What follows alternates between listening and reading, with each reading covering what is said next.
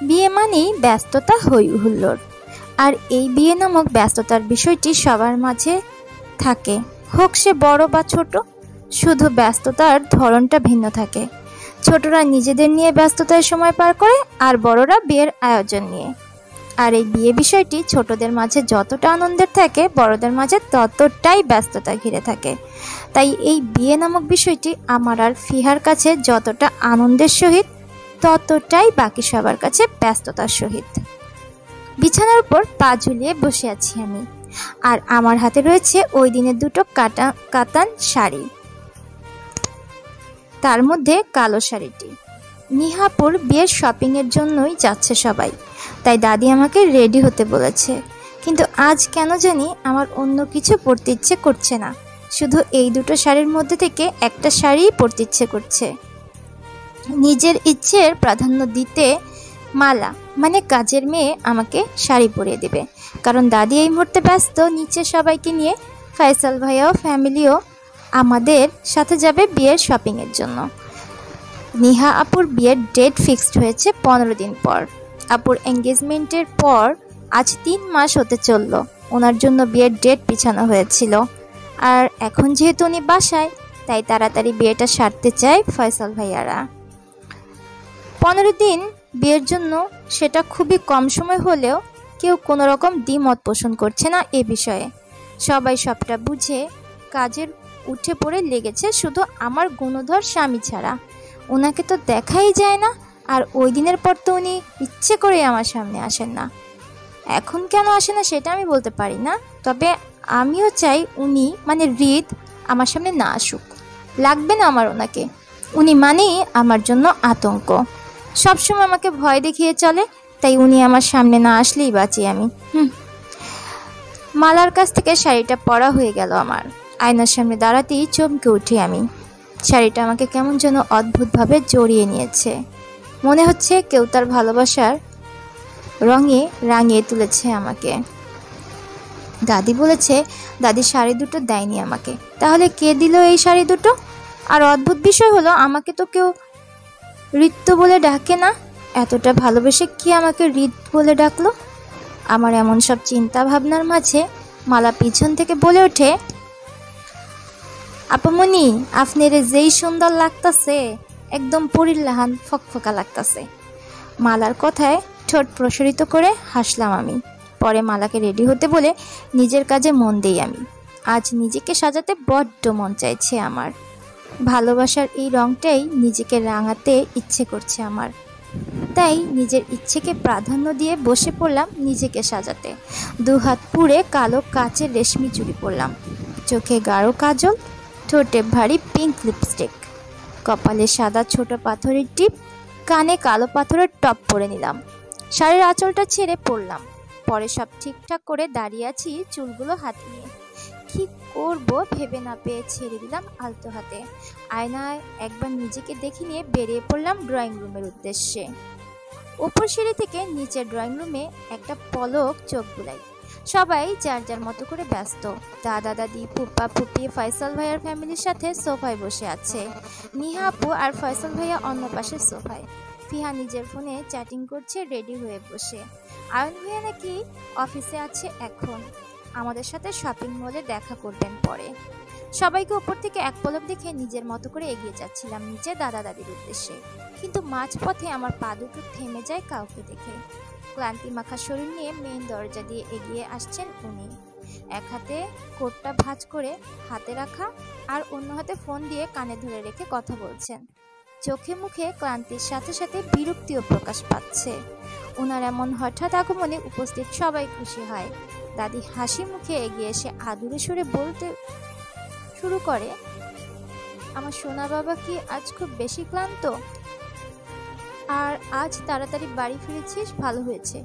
সবার সাথে আজ তুই সারাটা সন্ধ্যা থাকবি, চা গিয়ে ফ্রেশ হয়ে আয়। দাদির কথায় উনি পাশ ফিরে তাকায় দাদির দিকে। পরে কল কেটে দাদিকে স্বাভাবিক কণ্ঠে বলে ওঠেন, হুম, একটু ক্লান্ত আমি। আর দাদি, ভালো লাগছে না? আমার? তোমরা সবাই যাও প্লিজ এসব বিষয়ে আমাকে টেনো না। আমি কোথাও যেতে পারব না। সরি বলেই উনি সবার কাছ থেকে বিদায় নিয়ে নিজের মতো করে কিছুটা এগিয়ে এসেও থেমে যায়। আমাকে ভূত দেখার মতো চমকে আছেন। তার চেহারা দেখে সেটা বোঝাই যাচ্ছে। এক প্রকার হা করে তাকিয়ে আছে আমার দিকে। আমি কখনোই ওনাকে এমন অদ্ভুত নজরে তাকাতে দেখিনি। উনি কেমন করে তাকিয়ে আছে আমার দিকে? বারবার আমার উপর থেকে নিচ পর্যন্ত চোখ লাগছে আর আমি তার এমন বৃষ্টি দেখে জমে যাচ্ছে। আমার কেমন লাগছে আমি নিজেই বুঝতে পারছি না, আর ওনার মানে হৃদের এই বৃষ্টিও নিতে পারছি না আমি। মনের মধ্যে অজানা একটা ভয় কাজ করছে। তাই ভয় ভয় নজরে ওনার দিকে তাকিয়ে থেকে আস্তে করে ধীরে পায়ে ওনার সামনে এগিয়ে আসছে মাথা নিচু করে। উনি তখনও ঠায় জায়গায় দাঁড়িয়ে আছে আমার দিকে তাকিয়ে। আমি ওনার এমন দৃষ্টি উপেক্ষা করে দাদাজানের পাশে গিয়ে দাঁড়াই। আর বারবার বাঁকা চোখে ওনার দিকে তাকাই। উনি তখনও পিছন ঘুরে আমার দিকে তাকিয়ে আছে। এবার আমি ওনার এমন দৃষ্টি দেখে লজ্জা পেয়ে হেসে দাদা পেছনে লুকিয়ে পড়ে আবারও মাথা হালকা বের করে ওনাকে দেখি। উনি আমার এমন কাণ্ড দেখে জোরে হেসে ওঠেন। ওনার হাসিতে সবাই হতবাক হয়ে ছোট ছোট চোখ করে তাকিয়ে আছেন ওনার দিকে। আর বোঝার চেষ্টা করছে, কি হচ্ছে এখানে? আমার এমন কাণ্ড দেখে জোরে হেসে ওঠেন উনি। পুরো খানবাড়ির ড্রয়িং রুমে কাঁপিয়ে ওনার হাসির শব্দে সবাই চমকে পেছনে ফিরে তাকিয়ে হতবাক। ছোট ছোট চোখ করে তাকিয়ে আছে ওনার দিকে।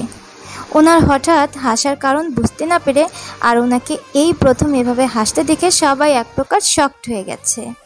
আর বোঝার চেষ্টা করছে, কি এমন হয়েছে এখানে যে উনি হঠাৎই এভাবে হেসে উঠলেন? ওনার হাসিতে আমি মুহূর্তেই চমকে আবারও দাদাজানের পেছন থেকে মাথা বের করে তাকিয়ে আছি চোখ বড় বড় করে। ওনার হাসিতে যেন মুক্ত ঝরছে। জমকালো সেই হাসি। আমি ওনার এমন হাসি মাখা মুখ কখনোই দেখিনি। কীভাবে বুঝাবো যে এই হাসিটাকে সর্বোচ্চ সুন্দর বুঝাবে তা সত্যিই আমার জানা নেই। সবাইকে দাঁড়িয়ে পড়তে দেখে এবং নিজের দিকে তাকিয়ে থাকতে দেখে চুপ করে যায় রিত। হঠাৎ কি করেছে সে? বুঝতেই সবার দিকে চোখ বোলায় রিত। ড্রয়িং রুমে সবাই তার দিকে তাকিয়ে থাকতেই দেখে, এমনকি বাড়ির সবগুলো কাজের লোককেও তাকিয়ে থাকতে দেখে গম্ভীর হয়ে আসে রিত। নিজের সব ক্লান্তি ঝরে সোজা গিয়ে সোফায় পায়ের উপর পা তুলে বসে পড়ে। তখনও সবাই অবাক হয়ে তাকিয়েছিল। রিতকে এভাবে বসতে দেখে এগিয়ে আসেন হেনা খান। পরে অবাক হয়ে আবেগী সুরে বলতে শুরু করে সোনা বাবা তুই কত বছর পর এভাবে হাসলি? তোকে এভাবে হাসতে দেখে আমার মনে কি শান্তি লাগছে জানিস?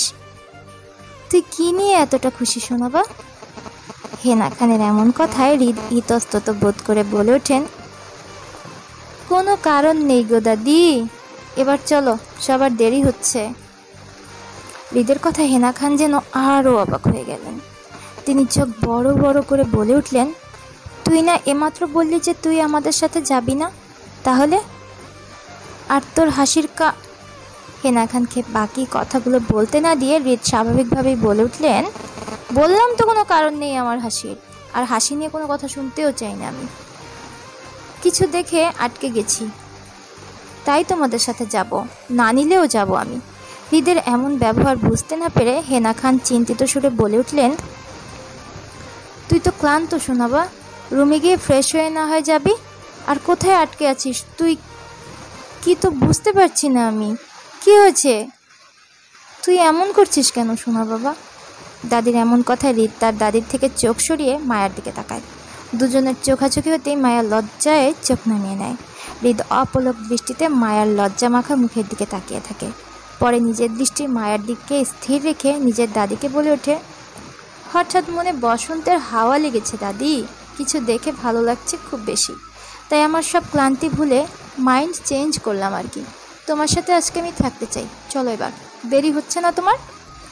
হৃদের কথায় হেনা খান বুঝতে না পেরে আবারও প্রশ্ন করে বলে ওঠে মানে? হৃদ মায়ার দিকে তাকিয়ে থেকে মায়ার কাণ্ড দেখছে। মায়া বারবার হৃদকে চুরি করে দেখতে গিয়ে ধরা খাচ্ছে হৃদের কাছে বারবার, কারণ হৃদের দৃষ্টির স্থির মায়ার উপর। তাই মায়া যতবারই হৃদের দিকে তাকাচ্ছে, ততবারই দুজনের চোখাচোখি হচ্ছে। লজ্জা মায়ার সাথে সাথে চোখ নামিয়ে নিচ্ছে।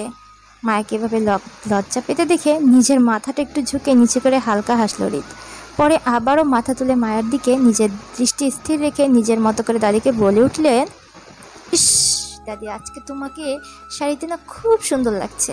তোমাকে এই শাড়িতে এতটা ভালো লাগবে জানলে আরও আগেই এনে দিতাম, দাদি। দাদি, আজকে আমাকে থেকে তুমি রোজ রোজ শাড়ি পরে ঘুরে বেড়াবে আমাদের বাড়িতে। বাকি সব ড্রেস তোমার জন্য একদম বন্ধ।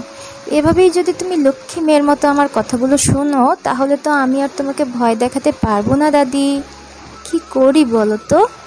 আর এমনিতে তো তুমি আজ আমার রঙের রানী হয়েই আছো। তাই তোমাকে আজকে একা ছাড়তে ইচ্ছে করছে না আমার। তাই আজকে সারাটা সন্ধ্যা আর রাতও আমার সাথেই কাটাতে হবে তোমাকে। কোনো অপশন ছাড়াই। বলি রিত সোফা ছেড়ে উঠে দাঁড়ায়। সবাইকে হা করে তাকাতে দেখে খানিকটা বিরক্তি প্রকাশ করে ঝাঝালো কণ্ঠে বলে ওঠে, তোমরা কি যাবে নাকি তোমাদের সব কিছু ক্যান্সেল করব আমি? বলি আবারও সবার দিকে হৃদ একটা পলক তাকিয়ে কোনো কিছু না বলে বেরিয়ে যায় বসা থেকে। হয়তো বুঝে গেছে হৃদের এমন ব্যবহার, আর বলা কথাগুলো কেউ হজম করতে পারছে না এই মুহূর্তে। তাই হৃদের বারবার বলার পরও সবাইকে হৃদের দিকে অবাক হয়ে হা করে তাকাতে দেখে বিরক্তি নিয়ে চলে যায় হৃদ গাড়ির উদ্দেশ্যে বাহিরে। ড্রয়িং রুমে পিনপিনে নীরবতা বিস্তার করছে, কারও মুখে কোনো কথা নেই। সবাই শুধু হা করে তাকিয়েছিল হৃদের দিকে। হৃদ এর বলা কোনো কথাই যে কেউ বোঝেনি, তা সবাই হা করার দেখেই বোঝা যাচ্ছে। আর বুঝবেই বা কী করে? হেনা খান তো সবসময় শাড়ি পরেই চলেন বাড়িতে। অন্য কিছু কবে পড়েছে তার সঠিক হেনা খানেরও মনে নেই এই মুহূর্তে। তারপর রিত তার দাদিকে শাড়ি পরতে বলল, আবার থ্রেডও দিল? ভাবা যায়? কত বড় মাপের গুন্ডা